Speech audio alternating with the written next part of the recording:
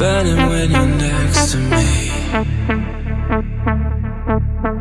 I feel it, I feel it now.